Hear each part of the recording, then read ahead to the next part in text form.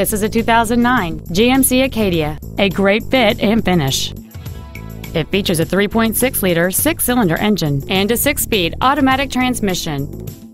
Its top features include air conditioning with automatic climate control, cruise control, a keyless entry system, a rear seat DVD entertainment center, aluminum wheels, a rear spoiler, an engine immobilizer theft deterrent system, a low tire pressure indicator, XM satellite radio, and this vehicle has fewer than 34,000 miles on the odometer.